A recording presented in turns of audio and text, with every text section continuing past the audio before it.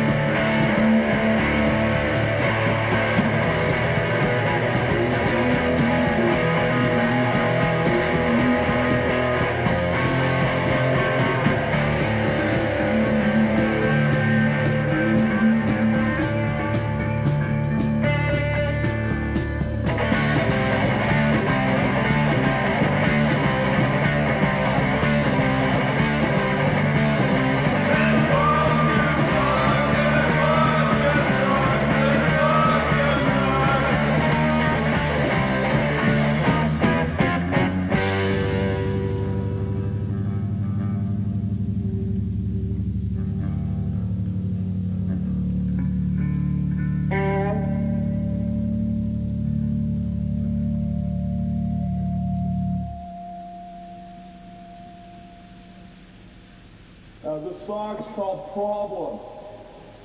It's uh, about this bar, because there's a big problem because there's only three people in here.